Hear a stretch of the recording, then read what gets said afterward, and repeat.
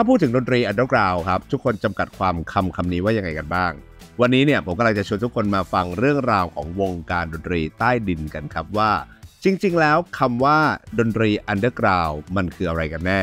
ทำไมหลายคนถึงบอกว่าเป็นเพลงที่ไม่สามารถนำขึ้นมาสู่บนดินได้ เราจะไปหาคำตอบพร้อมกันครับ ผ่านเรื่องเล่าของวง rock metal อย่างพี่ๆ Ebola ครับที่ผมเรียกได้ว่าเป็นตำนานของวงการเพลงใต้ดินตัวจริงเลยนะครับ การเดินทางของอีโบลาผ่านอะไรบ้าง ถึงสามารถที่จะพาเพลงตัวเองขึ้นมาสู่เมนสตรีมหรือว่าบนดินได้ และพี่ๆเขาไปไกลถึงขั้นได้เล่นเป็นวงเปิดเวทีให้กับวงดนตรีระดับโลกอย่าง Linkin Park ได้ยังไง รวมไปถึงการเดินทางของวงนี้ จะไปสิ้นสุดที่ตรงไหน เราไปติดตามเรื่องราวของอีโบลากันครับสวัสดีครับ ผมเออนุรักษ์ครับ ยินดีต้อนรับทุกท่านนะครับ เข้าสู่นักผจญเพลงพอดแคสต์ครับ เรื่องราวของอีโบลาต้องบอกว่าน่าสนใจครับ เพราะว่าผมเชื่อว่าหลาย ๆ คนที่ผ่านในช่วงยุค 90 คุณน่าจะรู้จักกับคำคำหนึ่งนั่นก็คือพวกเพลงใต้ดินอีโบลาเป็นวงหนึ่งที่อยู่ในโหมดนั้นเลยครับ ไอตอนยุคนั้นเนี่ยเพลงใต้ดินมันถูกจำกัดความด้วยอะไรอะในยุคนั้นถ้าใต้ดินคนอาจจะนึกถึงว่ามันหยาบมันค่อนข้างออกสู่บนดินไม่ได้ครับมันคือ underground ไง underground ครับบริบทจริงอะ อย่างเมืองนอกที่เราทำคือวงดนตรีที่เป็นกบฏต่อทุก ๆ สิ่งที่อยู่บนดินทั้งหมดเลยกำหนดในที่นี้คือเช่น เช่น เนื้อหาของการเขียนเพลง ถ้าเป็น underground จริงก็จะพูดถึงสิ่งที่เขารู้สึกแล้วก็ระบายออกมาเก็บกดทุกสิ่งทุกอย่างอืมแต่ของ underground อย่างบ้านเราเนี่ยอย่างที่บอกคือ เราไม่สามารถทำเพลงที่จะให้มันประสบความสำเร็จแบบวงที่เป็น mainstream อย่างบนดินได้ เราจะพยายามทำเพลงที่เรารู้สึกว่าความรู้สึกที่เราชอบ เรารู้สึกอะไรวัยรุ่นมันพลุ่งพล่านอะไรยังไง คิดอะไรยังไง อยากทำอะไร หรือแม้แต่เนื้อเพลงเนื้อหาของเพลงเนี่ย มันก็จะมีคำหยาบ แต่ underground มันถูกจำกัดว่าเฉพาะกลุ่มคนที่ชอบแบบนี้จริงแสดงว่าคือเรื่องของเนื้อเพลงคำที่ใช้ในเนื้อเพลงๆใช่ ซึ่งฝรั่งก็ทำมานานละเมืองนอกก็ทำมานานมากแล้วแต่ก็คืออย่างที่บอกคือมันก็ถูกจำกัดกลุ่มไปมันต้องเสพอย่างจริงจังจริงๆอะหรือเป็นคนประเภทเดียวกันจริงที่ชอบมันอะแล้วดนตรีล่ะครับมันเกี่ยวไหมครับหมายถึงว่าแนวดนตรีมีไหมว่า ถ้าเพลงใต้ดินในยุคนั้นแนวต้องแบบเนี้ยหนักๆ เท่านั้นหรือหรือหรือแนวดนตรีมันไม่เกี่ยวไม่เกี่ยว มันก็จะเป็นเรื่องของเนื้อหามากกว่าใช่เพราะมันมันก็มีทั้งแบบมีฮิปฮอปมีร็อกมีไม่ร็อกก็มีแบบเป็นเออเป็นพวก folk อะไรก็มีของแบบวงใต้ดินก็มีมีใช่ใช่เออฮิปฮอปใต้ดินก็มีมีอ๋อก็ดาจิมเป็นฮิปฮอปใต้ดินมาก่อน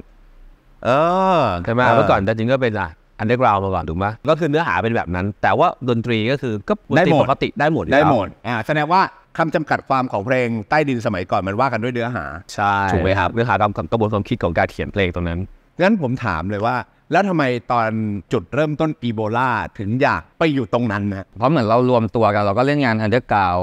งานใต้ดินอยู่แล้วด้วย แล้วตอนนั้นอ่ามันฮะก็มีแวดวงคือเขาก็ทำกันเองขายกันเอง เริ่มเริ่มมีวง ซึ่งสมัยนั้นอาจจะมีแบบดอน Boeing บิน Pain โบอิง Don Mimin Piersic เป็นค่าย Acoustic Angel ถึงถึงเป็นค่ายก็เป็นค่ายเล็กเออฮะๆพวกเราก็ ลองเราก็ไปหาฟังก่อนเออไปหาเราเป็นฟังผู้เสพหาฟังก่อนแต่ผมว่าในสมัยนั้นที่ที่เราเริ่มกันน่ะการที่จะเป็นวงที่จะขึ้นไปอยู่ข้างบนน่ะอืมมันยากมันไม่เหมือนสมัยที่ทุกอย่างมันเปิดแล้วครับจะเป็นแนวไหนก็ก็ขึ้นมาอยู่ข้างบนนี้ได้หมดแล้วอ่าฮะแต่สมัยก่อนการที่จะขึ้นมาอยู่ข้างบนมันยาก แล้วไอ้สิ่งที่เราอยากจะทำอยากจะเป็นน่ะมันเป็นสิ่งที่ข้างบนมันค้านอืมเพราะฉะนั้นมันก็เราก็ต้องเริ่มจากจุดที่เรารู้สึกว่าตรงเนี้ยที่เราอยู่แล้วมันแล้วมีความสุข แล้วสามารถทำในสิ่งที่เราอยากทำได้ ก็เริ่มจากตรงนี้เริ่มจากเพื่อนรวมตัวกันมาซ้อมมาแหกปากกันในห้องซ้อมรู้สึกว่าการแหกปากในห้องซ้อมการได้เล่นกีตาร์เสียงดังเปิด distortion ดังๆแต่ข้างบนมันขึ้นไม่ได้ไงไอ้วิธีแบบเนี้ยมันอยู่ไม่ได้มันมันมันก็เลยต้องเริ่มจากจุดตรงนี้ก่อนเออจริงว่ามันก็คือเรื่องฮอร์โมนล้วนๆอะสมัยนั้นวัยตอนนั้รุ่นนพี่เริ่มกันตอนช่วงยี่สิบโอ้เลยมั้งครับยี่รุ่นสิบรุ่นมหาลัยอายุมหายี่มหาสิบลัยปีน่าหนึ่จะงปีหนึ่งปีปีสสอองงเริ่มเริ่มรวมตัวกันเป็นวงครับอ่าฮะแล้วก็ซ้อมกันตอนที่เรามีปวช ก็เล่นกันมาเรื่อยๆ แต่ก็ยังไม่มีมือเบส แล้วก็วันนี้พี่เอ๋มาเข้ามาราชภัฏธน ก็มารู้จักพี่เอ๋เป็นเพื่อนในห้อง คือเขาเป็นคนที่สนุกคนหนึ่งเรารู้สึกว่าเอ้ยเราอยู่กับมันแล้วมันเออมันมัน happy อะอืมเขาจะเป็นจะเป็นคนที่มีมุกมีอะไรตลอดเวลาอยู่ในห้องเรียนเงี้ยจะเป็นเหมือนตัวโจ๊กประจำห้องอะจะคิดอะไรประหลาดประหลาดๆบ้าๆบอๆของเขาอะอ่าฮะตอนที่สมัยที่เรียนด้วยกันปีหนึ่งมันจะมีวงดนตรีที่เป็นเขาเรียก art showครับเหมือนเด็กศิลปะมันต้องมีวงดนตรีเพื่อแสดงตอนเวลามีงานถูกไหมอืมอืมเขาก็อะรับภาษาตีกลองสมัยนั้นเนวหน้ามาไง อ่าเขาแกะเนวหน้าเล่นกัน คือผมเป็นผู้ดูก็ดูมันตีกลองอืมแล้วตอนอีวล่ายังไม่มีมือยังไม่มีอ่าที่เป็นเมมเบอร์ที่เป็นมือเบสประจำไม่รู้ทำไมมือเบสมันหายากมากในยุคนั้นในตอนนู้นใช่ผมมันต้องไปเล่นเบสร้องด้วยซ้ำบางทีแล้แล้ววแบแบบบมักจะเป็นมีมีเพื่อนอีกวงมาช่วยเล่นอืมครับเพื่อนแบบเล่นไล่ๆกันเนี่ยครับไปซ้อมก็นัดใกล้ๆกันแล้วก็เพื่อนเพื่อนมันก็มีน้ำใจไว้เดี๋ยวเล่นให้ให้จะได้ครบๆอะไรอย่างเงี้ยเออเออเออเออแล้วอีโบลาตอนเริ่มต้น ตัดสินใจกันที่จะทำเป็นผลงานของตัวเองคุยกันยังไงอะเมื่อก่อนเราก็ตระเวนเล่นสมัยก่อนอย่างที่บอกคือมันจะมีกลุ่ม underground ที่เขาจะจัดคอนเสิร์ตที่เป็น cover อ่า Limp Bizkit Korn อะไรเงี้ยที่เป็นแบบแนวๆที่เราฟังกันอะอีโบลาเราเจอทางของเราที่เราชอบเซฟ u ูทูล่าก็เลย cover เซฟ u ูทูล่ามาตลอดเออมันเลยกลายว่าโอเค เราชอบที่เป็นแบบเนี้ยเสร็จวันหนึ่งเรามาเจอพี่รัฐโคเบชิ คือพี่แกเป็นคนที่บอกว่าถึงเวลาแล้วต้องมีเพลงเป็นของตัวเองได้แล้วเนี่ยพี่รัฐก็เลยแบบเป็นแรงบันดาลใจให้เราแบบอยากทำเพลงออกมา นั่นคือจุดเริ่มต้นใช่ใช่ครับของการทำเพลงของอีโบลาเพลง underground หรือเพลงสไตล์อีโบลาในยุคแรกเนี่ยนะเสน่ห์มันอยู่ตรงไหนสำหรับเพลงสไตล์เนี้ยความรู้สึกผมนะคือ เราพูดเรื่องจากความจริงอะทุกอย่างเราเราจริงหมดอะเราคิดยังไงเราพูดยังไงเราไม่โกหกคนฟังอะผมชอบคำนี้มาตลอดเลย ผมได้ยินมาคือ real music real life อะเอ่อไม่ real คือ music real life ใช่อ่าฮะไม่คืออีโบลาจริงเออๆผมไม่เคยโกหกผมบอกว่าตอนนั้นที่ผมมีมีคนรู้จัก ผมไม่มีรถผมนั่งรถเมย์ไปทำงานหครัรือบนั่งรถเมย์ไปโรงเรียนห รือนั่งรถเมย์ไปเล่องเสิร์ตผมก็พูดความจริงนี่คือสิ่งที่เบลาเป็นมาตลอด 28 ปีเต็ม เราคิดยังไง เรารู้สึกเนี่ยเราก็พูดอย่างหนึ่งแม้แต่เนื้อเพลงทุกบรรทัดทุกเพลงที่เราเขียนลงไว้ หรือแม้แต่คนที่เขียนเรา เราก็ถ่ายทอดความจริงเสมอทำเองทั้งหมด ในยุคแรกทำเองทั้งหมด ดนตรีเพลงเนื้อช่ทำนองเรียบเรียง ส่วนมากมันใช่ครับมันจำหน่ายจำหน่ายวางก็ช่วยช่วยๆกันดูนะครับอาจจะมีพี่รัฐแล้ก็อมาช่วยบ้างมีเพื่อนบ้างมีพี่บ้างมาช่วยดูทำกันอยู่กี่ปีครับพี่หมายถึงเดินทางอยู่บนสายเพลง underground อยู่กี่ปี ก็จะมี EP 97 ที่เป็น EP ครับแล้วก็มีอัลบั้ม In My Head In อ่า My ฮะ Head ก็ต้องขอบคุณเป็นเพื่อนสนิทพี่รัฐครัแกบก็ชอบเพลงแบบนี้มากอะไรเงี้ยแกก็พอมีทุนอยู่อะไรเงี้ยก็เลยคราวนี้เราก็ไปเข้าห้องอัดเราก็เอาจาก EP 97อะมาอัดใหม่เออ ซึ่งมันมีอยู่ 5 เพลง แล้วก็เพิ่มอีก 5 เพลง ก็ทำเป็นอัลบั้มแรกคือ In My Head เออแล้วอีกอีกช่วงเวลาหนึ่งเราเสร็จจาก In My Head เรารู้จักกับพี่ธเนศซึ่งทำ Justice Music ครับอ่าครับผมเราก็ได้โอกาสนั้นไปทำกับ Justice Music ก็ยังถือว่าเป็นอัลบั้ม Underground อีกชุด ยังถือว่าเป็นอัลบั้มอัลบั้มสองอัลบั้มเต็มเต็มสตูดิโออัลบั้มสองยังถือว่าเป็น Underground underground อยู่ใช่ครับเออเออเออหลังจากนั้นมันก็จะมีโปรเจกต์ซึ่งทาง Justice เขามีคุยกับ Warner Music ไว้อะไรอย่างเงี้ยครับผมว่ามีเหมือนเป็น contract ทำร่วมกันบ้างอะไรอย่างเงี้ยครับซึ่งตอนนั้นเราเราก็เริ่มมีโอกาสเข้าไปคุยกับที่ Warner Music ตอนที่อีโบลาเริ่มต้นทำงานตัวเองจริงจังอัลบั้มแรกเลยอะครับ เราเริ่มโชว์ครั้งแรกที่ไหนอะถ้าเป็นอัลบั้มแรกที่เป็น EP นะอืมศูนย์วัฒนธรรมแห่งประเทศไทย น่าจะเป็น Demonic ครั้งที่หนึ่งเดี๋ยวมันอีกอันหนึ่งพี่เอฟอ่าฮะวงล่านเป็นคนจัดจำบรรยากาศได้ไหมครับ ว่ามันโอ้โหก็เป็นยังไงสำหรับอาพี่กอล์ฟก็ได้ มันก็รู้สึก ตื่นเต้นแล้วก็ดีใจครับก็คือมันมันเหมือนกับตอนเราเล่น cover เพลงคนอื่นไหมไม่เหมือนครับไม่เหมือนไม่เหมือนแน่เออๆก็คือแบบว่ามันมีทั้งความอันแน่ๆมันภูมิใจอันดับแรกแบบที่เราพอเราเล่นเพลงของเราแล้วคนโอเคอะไรเงี้ยตอนนั้นคนยังไม่รู้จักเพลงนะ เพราะว่าตอนนั้นอะเราเอาอัลบั้มอะไปขายหน้าเป็นงานวันเลยแรกที่เราเอาอ๋อเราหิ้วไปขายกันเองใช่คืคืออเราเราเปิอะดตัวไปเปิดตัวอ่าไปเปิดตัวเลยคือแบบอะทำเทปเสร็จแล้วใส่กล่องใส่ลังก็ถือกันไป แล้วก็เล่นอ่าฮะเสร็จก็ไปยืนร้องเพลงรอบตะโกนขายนะอ้าวเทปอีโบลาอัลบั้ม EP 97มีแค่100ม้วนเออแล้วแล้วก็คือทำกันเองหมดเลย คือครัไปบจ้างก็ทำเทป หน้าปกก็ไปซีหลอกสีเอาแล้วก็มาใส่กันเองช่วยกันทำทุกอย่างเองหมดเลยเออแล้วก็ขายแบบมันคือความภูมิใจที่ก๊อฟบอกคือวันที่ไปเล่น คนยังไม่รู้จักเพลงเลยนะแต่คนก็ก็ซื้อคือตอนโหก่อนเราเล่นน่ะ มันยังขายไม่ได้ครับอืมแต่พอเราเล่นเสร็จอะเฮือกเดียวหมดร้อยม้วนหมดเลย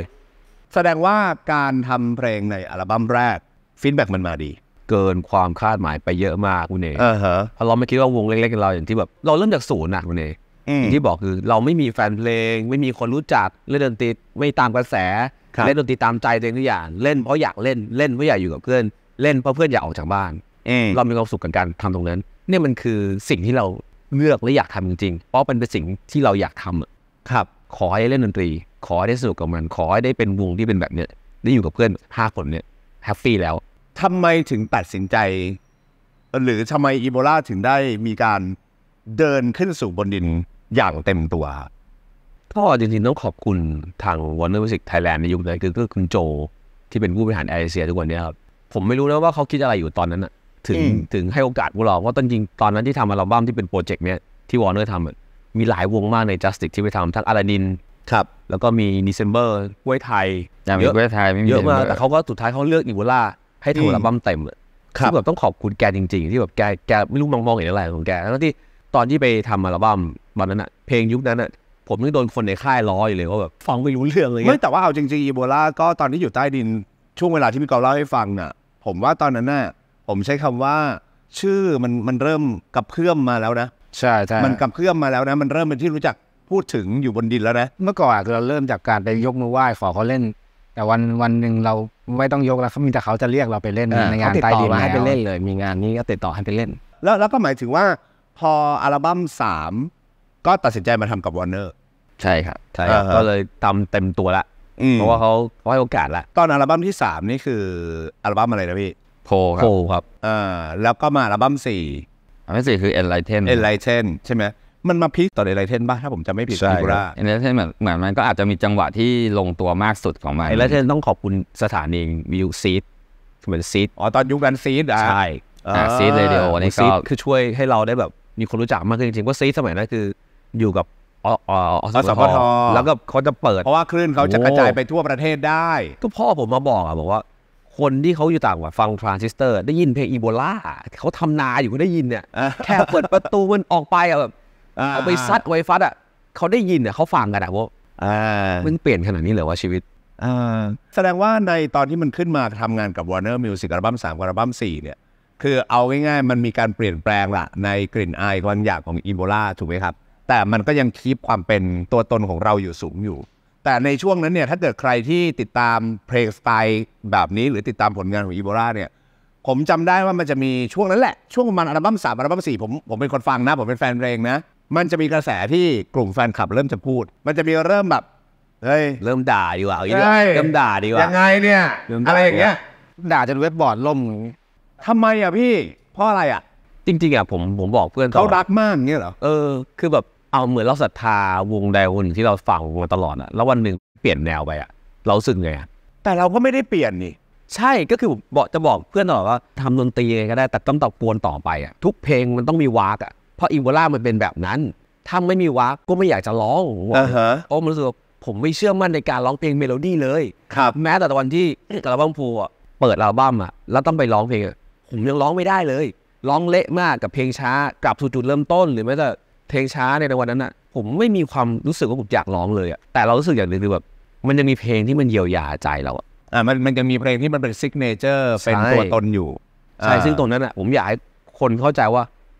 มันคือแก่นขครัองบอีโวล่าเราไม่เปลี่ยนเว้ย เราแค่มีบางสิ่งบางอย่างว่าล้อมรอบมันหรือให้แนวทางเรามันยังชัดเจนแล้วไปต่อได้ เพราะในยุคนั้นคือผู้ใหญ่ก็จะบอกเสมอว่า การที่เราจะสื่อสารออกไปให้คนดูคนฟังได้ยินคือต้องพูดให้รู้เรื่องก่อนครับนั่นคือสิ่งที่ผมรับแมสเซจมาจากทางผู้ใหญ่ ซึ่งเรารู้สึกว่าโอเค ได้ผมโดนส่งไปเรียนร้องเพลงอะ สองสามรอบอะที่อืมอินบูโดกันผมก็ต้องเคยไปเรียนกับแกอืมครูโรดผมก็โดนส่งไปเรียนแก แล้วผมก็หนีทุกครั้งที่ไปเรียนอ่าฮะเรียนไม่เคยครบคอร์สเลย ซึ่งเราอยากให้คนฟังเข้าใจ ใช่ แต่สุดท้ายก็เว็บบอร์ดล่มแบบล่มครับกันเละกันเละกันเละครับกันโน้ตเละเลยเหรอเละเลยเละเลยเละนี่คือหมายถึงด่าด่าแบบเสียหายๆก็มีแบบไม่ฟังแล้ววงนี้อะไรอย่างงี้ก็มีอ่าเรายิ่งเรายิ่งเป็นฐานแฟนใต้ดินอยู่แล้วใช่ด้วยใช่ใช่ใช่อ่าคำพวกนี้ สบายมาก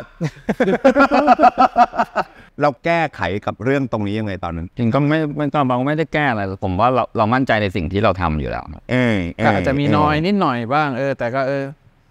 ว่าเราเลือกถ้าเกิว่าดทางนี้มันเห็นตรงกัเรานก็จะดีเราคบเหมือนเหมือนอย่างที่พี่เอบอกครับคือ เรายังมีสิ่งที่เราเป็นความเป็นตัวเองสูงอยู่ตลอดเวลาอยู่แล้วครับ ไม่ว่าจะถึงมันจะมีเพลงที่มันช้าลงหรือสื่อสารง่ายขึ้น แต่ข้างในนั้นมันก็ยังมี riff กีตาร์มีอะไรมีคือคือเอามีจริงมีๆผลูมกส่วนการลูกเล่นอะไรเต็มไปหมดเลยเออครับเพราะส่วนตัวผมผมแค่รู้สึกว่า ตอนอัลบั้มแบบอ่าอย่างอัลบั้มสามอัลบั้มสี่อะสิ่งที่มันเพิ่มขึ้นคือผมว่ามันยังคงมีความเป็นอีโบลานะถ้าเกิดเรากลับไปฟังนะ แต่ว่ามันแค่เป็นอีโบลาที่บางเพลงมีเมโลดี้เหมือนที่พี่เอ๋บอกอะมันแค่นั้นเลยนะ การใส่เมโลดี้เข้ามาในเพลงบางเพลงมันทำให้เว็บบอร์ดล่มได้เลยคือมันมันเหมือนกับแค่เราแค่จริงๆนะถ้าเรามองเข้าไปใน เนื้อหาของมันจริงๆมันคือเนื้อแบบเดิม แต่แค่มันใช้ภาษาที่แตกต่างกันไป ให้มันพูดให้ง่ายขึ้นอืมฟังให้ง่ายขึ้น ผมบอกคนเขียนเพลงตลอดนั้นยุคหลังผมไม่ได้เขียนครับ ผมไม่อินกับเพลงรักเว้ยมอย่าเขียนเพลงรักให้ผมร้องครับ เขียนเพลงให้กำลังใจ ผมร้องได้ ซึ่งคนที่เป็นคนเขียนมาตลอดอะเห็นทีมของพี่กบบิ๊กแอสเขาเข้าใจครับ ผมอินกับการร้องเพลงให้กำลังใจพวกคุณมากกว่า เพราะฉะนั้นอีโบลามันต้องต้องเป็นแบบนี้ ซึ่งหลายเพลงของอีโบลาก็มีมีเพลงที่ส่วนมากก็จะเป็นเพลงที่พูดถึงเรื่องของกำลังใจเรื่องการต่อสู้ เรื่องการลุกขึ้นมา เรื่องการก้าวข้ามอุปสรรคค่อนข้างใช่ครับเยอะมันมันเป็นมันเป็นรูปแบบนั้นด้วย แล้วถ้าท่านไหนไหนๆก็พูดถึงเรื่องเนื้อเพลงแล้วก็เป็นช่วงบังเอิญอีกเหมือนกันในช่วงทำอัลบั้ม Pole นะครับ พวกเราเหมือนได้เจอพี่ออฟพี่กบ Big Ass อะไรอย่างเงี้ยมันก็ทำให้เราคอนเน็กเข้าไปในเรื่องเนื้อหาจากพี่กบอะไรเงี้ยซึ่งพี่กบก็ให้คำแนะนำอีโบลาเยอะมาก แล้วก็ช่วยเหลือ ทั้งเขียนเพลงให้ด้วยอะไรด้วย คอยบอกวิธีคิดเราควรจะเล่าแบบยังไงไปยังไงเหมือนเหมือนแกเป็นนักเขียนอยู่แล้วเงี้ยครับครับแกก็จะบอกเราได้เป็นฉากๆเลย เหมือนอืมสร้างหนังให้เราเรื่องหนึ่งเลยว่า มันต้องมันต้องเล่าประมาณอย่างนี้ แล้วแกก็จะบอก เออ วงแล้วน่าจะเป็นอย่างนี้เขาแต่เขาก็เป็นเขาก็เลยมาดูอีโบลาบ่อยด้วยนะครับพี่ออฟพี่กบอะไรอย่างเงี้ยครับ เออก็แสดงว่าได้พี่ๆเข้ามาอ่ามันช่วยเป็นอีกช่วงแรงเวลาหนึ่งที่แบบ มาแต่ประสานงานกันหมดอ่าฮะจุด peak จริงๆของอีโบลาถ้าเกิดวันที่แบบว่าทั้งหมดทั้งหมดก็เป็นช่วงนี้แหละ ช่วงอัลบั้มสามอัลบั้มสี่แล้วก็พี่ๆก็ได้ขึ้นไปเป็นวงเปิดให้กับ Linkin Park ใช่ไหมครับชวนกันว้าวุ่นเลย ไอ้วันนั้นเนี่ย ผมเชื่อว่าเป็นใครก็ว้าวุ่นเลยจำตลอดชีวิตอยู่แล้วล่ะฟิลลิ่งมันมันประมาณไหนตายได้ตายอะ คือเราไม่เคยเกิดมาเป็นยืนบนเวทีที่มันยาวสูงหูตาแล้วแบบพี่เชื่อไหมว่าแม้กระทั่งพื้นที่เราเหยียบเนี่ย เราอะยังต้องเหยียบบนผ้าใบอะคือเขาไม่ให้เราเหยียบ ก่อนศิลปินเขาจะเล่นนะเราก็รู้สึกแบบมันก็มีน่ผ้าปูรองไว้ใช่มันน่ากลัวแล้วเออมันคือเวรู้สึทีกแบบของเขาอะเออเออเออพอถึงเวลาที่เล่นจริงขึ้นไปแบบ ก่อนเราจะขึ้นเราก็แอบไปยืนมองเอ๊ะคนดูมันสี่ห้าหมื่นคนแบบเต็มลาน Active Square แล้วทีฟเราจะเอาอยู่เหรอแล้วเขาจะฟังเราไหมเขาจะไหวกับเราไหมอะไรอย่างเงี้ยแบบมันแบบปั่นป่วนไปหมดมันแบบจะรอดไหมว่าอะไรอย่างเงี้ยคือเออแต่แค่คิดอย่างเดียวว่าบนเนี้ยมันคือที่ของเรา ใครก็ไล่ลงไปไม่ได้หรอกแล้วผลมันออกมาอย่างไรบอกได้คำเดียวว่าสุดครับคนแบบ เห็นทุกหัวแบบแล้วมันกระโดดสุดลูกหูลูกตาอย่างเงี้ยเหรอใช่ มันแน่นมากแล้วคือมันกระเพื่อมเลยนะคุณเดย์เออเรารู้สึกเลยแล้วมันมันเหมือนแผ่นดินไหวอะโหขนาดนี้เลยเหรอวะใส่ไม่ยั้งเลยครับเรานึกว่าจะโดนโหแล้วเพราะเราเป็นวงสุดท้ายก่อนที่โชว์จริงจะเริ่มอ๋อเป็นวงสุดท้ายก่อนที่ Linkin Park จะขึ้นใช่ฮะอ่าแล้วคือวงเราอะครั้งแรกมันจะมีหลายวงด้วยเหมือนเป็น festival ย่อมๆครับเออฮะแล้วเราวงเราก่อนวงเล็กที่สุดอะในงานวันนั้นคือ ตอนนั้นจะมีโมโนโทนครับ แล้วก็มีสครับอือหือ ถ้าถ้าไม่ผิดนะแล้วเราเป็นวงใต้ดินเล็กๆเลยครับพี่ที่วงเขาที่นิงมากเป็นคนเลือกว่าเอาวงเนี้ยมาเล่น เราก็คิดอะวงสุดท้ายด้วย เขาจะโหไล่เราไหมเพราะเขาอยากดู Linkin Park แล้ว อะไรอย่างเหมือนเงี้ยปั๊มหมาแต่ตอนซาวเช็คแล้วคุณเดย์ครับตอนไป sound check อะโดนฝรั่งด่ากันอ่าฮะเหมือนฝรั่งที่เป็นคนดูแล เออวิธีทำงานเขาด้วยครับเอก็อเลยเออ คือคืออย่างหนึ่งที่เราเห็นเลยคือเขากับเราทำงานกันแบบคนละเรื่องเลย คนละระบบเลย สมมุติถึงเวลา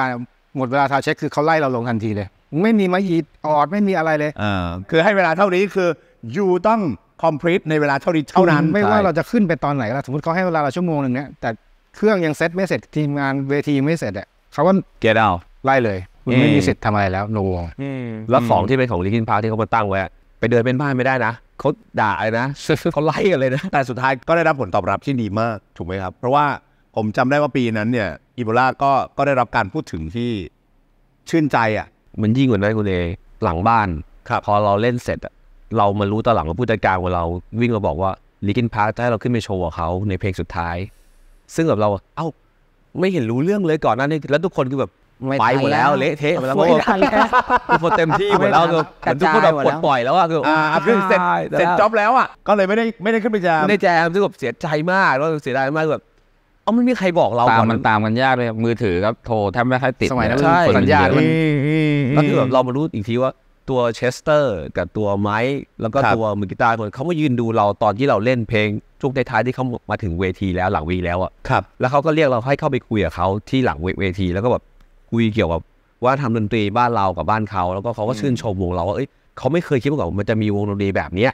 อยู่ในประเทศนี้ด้วยเพราะเขาก็จะว่าอาจจะเป็นสื่อที่เขารู้สึกอะว่าประเทศไทยจะเป็นยังไงเราไม่รู้นะ แต่แค่เขาบอกว่าเอ้ยมันมีวงแบบนี้ด้วยเหรออะไรเงี้ยเขาก็เคยชวนเราไปเล่นวงเปิดเขาที่ฮ่องกงกับโปรด้วยซ้ำเลยเขาไปทัวร์ต่ออ๋อซึ่งเราก็แค่นี้ก็แบบโหเรามีความสุขแล้วอะแค่ศิลปินเบอร์ใหญ่ที่เราชอบอะเขาชอบเราอะแล้วหลังจากนั้นมาคือลิงพามากี่ปีกี่รอบอีวูล่าได้เล่นเปิดทุกครั้งทุกรอบไม่เคยพลาดสักปีเลยหายากนะครับบอกจะบอกได้เลยเมืองไทยมันไม่มีนะครับวงดนตรีแบบนี้ หมายถึงว่าที่จะได้รับ ทั้งการยอมรับด้วย แล้วก็เรื่องของกระแสด้วยนะครับ ตอนช่วงโมเมนต์นั้นน่าจะเป็นจุดสูงสุดไหมครับ ของวงเรา ด้านความสำเร็จแบบมีความสุขก็ระดับหนึงแล้วแต่มันก็มีต่อจากนั้นอีกมันก็มีพีคกว่านั้นอีกแบบสิ่งที่เออหลังจากสิ่งที่ก็เป็นอีกช่วงหนึ่งที่แบบ มีงานเล่นแบบรัวๆปีหนึ่งก็เหยียบร้อยอยู่เหมือนตอนนั้นกราฟมันกำลังขึ้นเลยอ่าฮะทุกอย่างมันมันมันมันมันพอดีหมดแล้วครับพอได้ลิกินปาปุ๊บ อัลบั้มเอไลเทนอัลบั้มนะมันมีเพลงสิ่งฉันเป็นอีกเพลงอืมเพลงเนี้ยที่บอกว่ามันเป็นจุดเปลี่ยนของวงอีกเพลงนะเพลงอะไรนะครับพี่สิ่งที่ฉันเป็นอ๋อสิ่งที่ฉันเป็นเออเออพี่กบเขียนเพลงเพลงเนี้ยโดยที่พี่กบบอกว่า เพลงเนี้ย มันจะเป็นการพิสูจน์แฟนเพลงว่าเขายังอยู่กับต่อหรือเปล่าเพราะเนื้อหาของมันบอกเลย นี่คือสิ่งที่เป็นนี่คือสิ่งที่ฉันเป็น เออเออ นี่คือสิ่งที่เวลารู้สึกมาตลอดว่า สิ่งที่ฉันเป็นมันไม่ใช่เพลงรัก แต่สุดท้ายเพลงสิ่งที่ฉันเป็นก็ทำงาน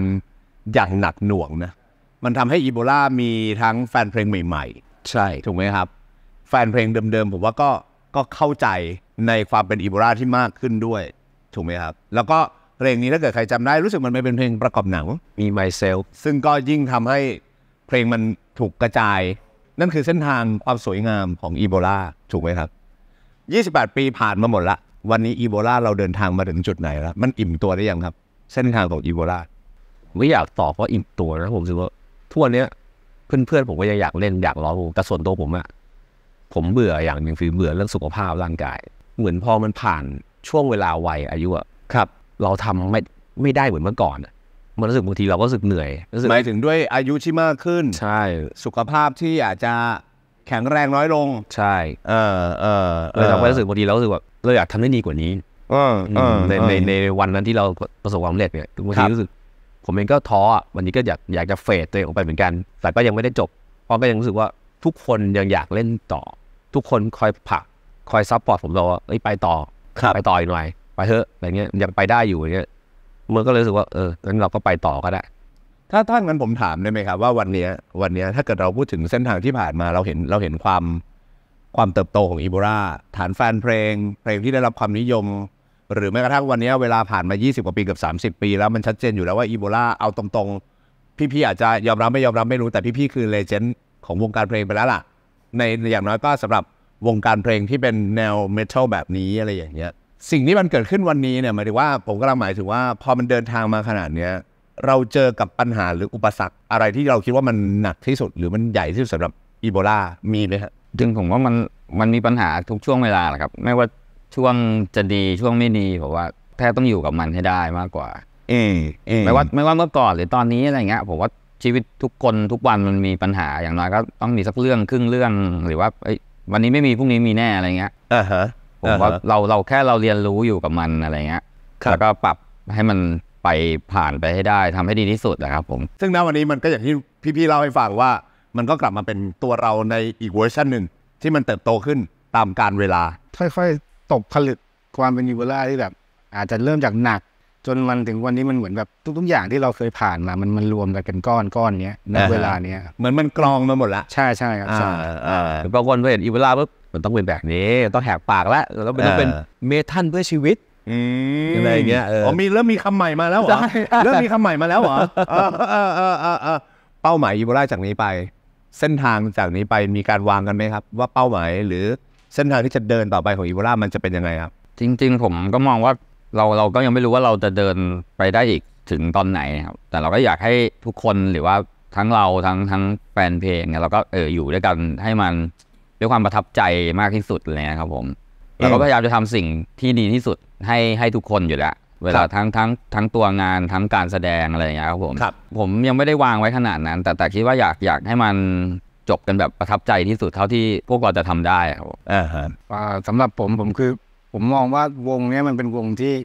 โชคดีอย่างหนึ่งคือมันไม่เคยขึ้นไปสุด แล้วก็ไม่เคยลงมาสุด มันอยู่ตรงกลางตลอด เพราะฉะนั้นมันก็เลยทำให้เรารู้สึกว่าเออเมื่อไม่เคยไปแตะข้างบนอะก็ไม่ต้องพยายามก็ได้อยู่แบบนี้มันอยู่ได้ เราสามารถไปต่อได้เรื่อยๆวันนี้ยังมีแรงเล่นยังมีคนจ้าง ยังมีสมองในการคิดงานทำงานก็ทำต่อไป เองอุปสรรคของมันคืออยู่ที่ใจเรามากกว่าร่างกายผมว่า ถ้าใจเรายังอยากทำต่อก็ทำไปดิเพื่อนก็ยังอยากดูอยากมันกันอยู่พี่เอก็อยากเล่นดนตรีให้นานๆครับดูอย่างวงฝรั่งแบบเออบางทีเขาเล่นกันได้อายุเจ็ดสิบหกสิบ Aerosmith Scorpions ยังวิ่งกันแบบคุ้มข้างอะไรอย่างนี้เลยสกอร์เปียน Iron Maidenพี่ต้องดูว่าหลังเวทีเขามีอะไรด้วยนะยาดมช่วยช่วยหายใจ ใช้น้ำอะไรสักอย่างนั้นทรงพลังขนาดนี้นะอ่าอ่าอ่าก็อยากได้ ไปเล่นดนตรีกับเพื่อนก็หาวิธีอยู่ในยุคสมัยใหม่ว่าเออเราควรอยู่ยังไงก็หาวิธีแบบทำโปรเจกต์เยอะๆให้แบบอยู่ร่วมกับเด็กยุคใหม่ให้ได้ก็แบบรอมันถึงที่สุดนะครับ วันหนึ่งว่าแบบเออ มันจบก็ต้องจบอะครับ มันก็ไม่แน่นอนกันชีวิต เอาจริงๆผมก็ไม่เคยคิดว่าปลายทางมันอยู่ตรงไหน อืมทำเท่าที่เรามีแรงทำได้ สนุกกับมันแค่นั้นครับ เท่านั้นพอ เท่านั้นพอแล้วครับ พี่เอ๋ล่ะส่วนตัวผมไม่คาดหวังอะไรกับวงนี้ละผมถือว่าผมผมผมทำหน้าที่ผมเต็มที่ละ ครับมันสุดความสามารถที่ผมมีละอืมเพราะเราเราเข้าใจอย่างหนึ่งคือทุกวงการมันมีขึ้นสุดลงสุดอยู่แล้วครับ เราเราเราไม่รู้ว่าเราอยู่ตรงไหนทุกวันเนี้ยเราแค่มองว่าทุกวันเนี้ยเราได้อยู่กับเพื่อนห้าคนเล่นดนตรีแล้วก็มีความสุขแล้ว แต่คที่รับผมอยากอยากทำมากที่สุดตอนนี้คือผมเคยมีโอกาสได้ไปสอนร้องเพลง แล้วผมได้เจอน้องๆรุ่นใหม่ครับๆผมเป็นคนหนึ่งที่ชอบฟังเพลงเด็กรุ่นใหม่อืมก็ผมรู้ว่าเด็กพวกเนี้ยเขามีความสามารถแล้วก็มีพลังที่เรารู้สึกว่ามันสามารถส่งแนวดนตรีที่เรารักที่เราชอบเนี่ย ต่อไปให้ถึงรุ่นรุ่นต่อต่อไปได้ ไม่ได้บอกว่าผมเป็นคนเริ่มต้นแนวนี้นะครับแต่ผมเป็นวงผมเนี่ยเป็นวงที่ทำให้กระแสตรงเนี้ยมันมีคนรู้จัก ผมอยากให้มีคนที่ทำแบบวงอีวาล่าทำอะไรเนี้ยให้มีคนรู้จักต่อต่อไป ถึงแม้ว่ามันอาจจะไม่โด่งดังเท่าเราหรือว่าโด่งดังมากกว่าเรา ผมก็อยากให้มี ผมรู้สึกว่ามันเหมือนวัฒนธรรมอะอืมเราอยากจะให้เด็กรุ่นใหม่ๆอะไปต่อ ผมเห็นนะเด็กหลายคนที่เล่นมาด้วยกันกับเรา หรือเพื่อนๆที่เล่นมาด้วยกันในแนวเดียวเราเขาก็เลิกเล่นกันไปเยอะแยะมากมาย หรือแม้แต่รุ่นพี่เราที่เราเคยฟังอะเขาก็เลิกเล่นไปแล้วก็มี แต่จะทำยังไงให้แนวดนตรีแนวเนี้ยมันไปต่อได้ถึงแม้ว่าจะไม่ใช่คน gen เราคนรุ่นเดียวหรือคนรุ่นไหนก็แล้วแต่ ให้มันไปต่อให้ได้ เพราะกว่าที่จะมีคนรู้จักแนวเนี้ยมันไม่ได้ง่ายๆ เราถูกจำกัดอยู่แค่ underground มากี่สิบปีครับก่อนเราอีกก็มี แต่วันนี้ underground มันถูกขึ้นมาแล้ว เราก็อยากให้มันไปต่อเรื่อยๆเรื่อยๆเรื่อยๆต่อไป ผมอะสอนเด็กตอนที่ไปเรียนไปไปสอนวางเลยผมมีความสุขนะ ผมไม่ได้สอนร้องเพลงให้เป็นให้น้องก็เป็นเหมือนผมครับแต่ผมส่งแรงบันดาลใจให้เขาไปต่อ ให้เขามีพลังที่อยากอยากสร้างแนวเพลงที่เขาชอบอะหรือสิ่งที่เขาชอบอะไปต่อ ซึ่งเนี่ยผมก็พยายามบอกเพื่อนต่อว่า ถ้าเรามีโอกาสสามารถให้โอกาสพวกเขามาเล่นด้วยวงเปิดก็ได้ หรือสามารถมีแชร์แชร์เพลงพวกเขาให้ในเพจเราก็ได้ให้เขาได้ ทำในสิ่งที่เขาชอบเหมือนที่เราเคยได้โอกาสจากพี่ๆสมัยนั้น หรือแม้แต่ Warner Music หรือแม้แต่ Genie Records หรือแม้แต่ Me Records ทุกค่ายมันจะมีเด็กที่เป็นอย่างเนี้ยเยอะแยะมากมาย ซึ่งแล้วเขาจะได้ไปต่อไหมอะแล้วเขาจะประสบความสำเร็จไหมซึ่งมันน่าจะช่วยให้เขาไปได้ อย่างวงในค่ายอย่างหลายๆหลายๆวงผมก็พยายามบอกเอ้ยยังมีคอนเสิร์ตวันดีแล้วไอ้น้องวอลเล่นเปิดก็ได้อืมเผื่อคนที่เขาไม่รู้จักได้รู้จักนี่คือสิ่งที่ผมต้องการ และผมอยากให้เป็นแบบนั้น มันเหมือนต่อไปมันเหมือนวันที่วันที่พี่ๆบอกผมตอนต้นรายการว่า ไปซื้อเทปไปฟังเพลงของรุ่นพี่มาเป็นผู้เสพก่อนใช่ใช่ครับ แล้วก็ค่อยผลิต แล้วก็ได้รับโอกาส แล้วก็เติบโต วันนี้เรากลายเป็นรุ่นพี่